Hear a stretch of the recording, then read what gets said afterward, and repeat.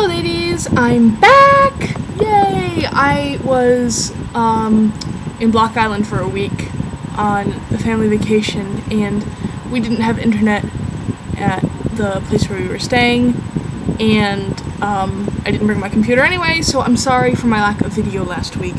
Um, I will briefly touch upon um, last week's theme. Anyway, so last week's theme was identity and how we see ourselves. Um, to be honest, I haven't really thought of really how I see myself.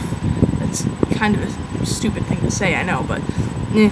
um, I'm kind of the odd bird out, and um, I'm also uh, like Megan. I'm also the mom or the big sister, which is very apt since I am the oldest of four. So, um, sorry, that's my feet in the background.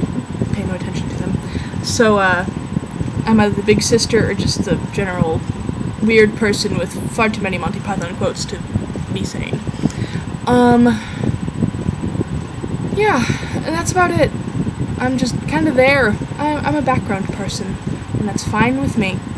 Um, this week's theme is childhood, and um, I don't really remember much of my childhood because it was well my childhood. I have a pretty faulty memory anyway. Sometimes I don't remember what day it is. Today is Wednesday. Yes, yes. They start to run together in the summer.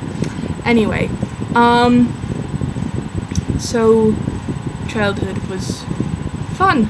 Um, I moved around a couple of places when I was younger.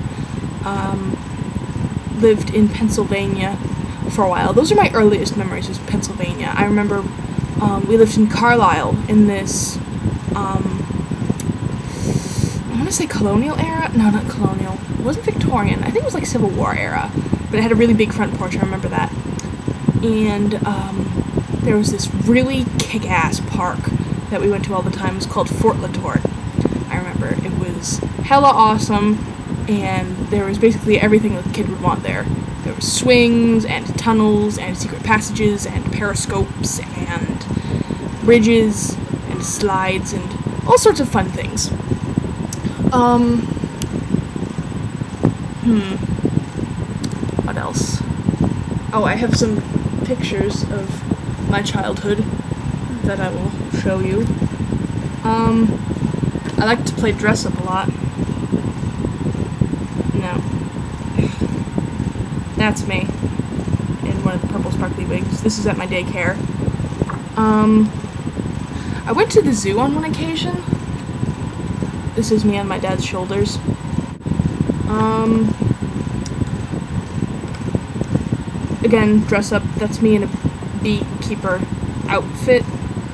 Uh, this was at some museum. Um, um, I went to Disney. That's me sitting on Cinderella's lap. I remember that. And last but not least, I like to dance. This is at my grandparents' house in Florida in front of their big mirror. I was a vain child. I did more gazing at myself in the mirror than I did dancing, but I think that's a good picture. And that red feather boa shed very many feathers that day. Um, so that's basically it for me. I'm going to run out of time.